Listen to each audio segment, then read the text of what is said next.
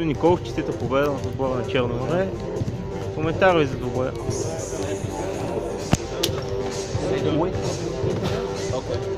Стана успърван двобой. Вината за това е цяло наша.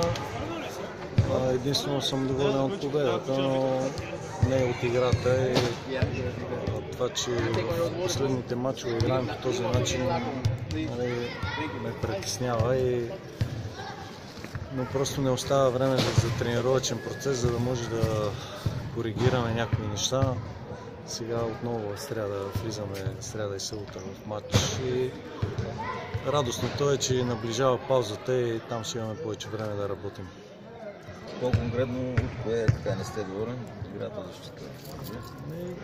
Толкова трябва да го изброяваме. В момента последните 3-4 мача не играем добре във всички фази. В защита, и в транзиция в защита, и в бърза атака, и в постепенно нападение. Общо взето навсякъде играем зле.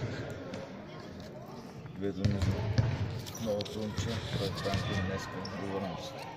И има сериозен потенциал, доволен съм, но като се има преди, че все, все още не е напълно интегриран в отбора, можем да очакваме и повече от него, тъй като все още нали, някои принципи в защита греши в нападение, още не е свикнал с момчета и те с него. Нали. И по принцип мисля, че има сериозен потенциал и това, което показва днес, предполагам, че ще е най-малко. Много очаквам в следващите матчове, като се драматизира в отбора, да сте по-добре.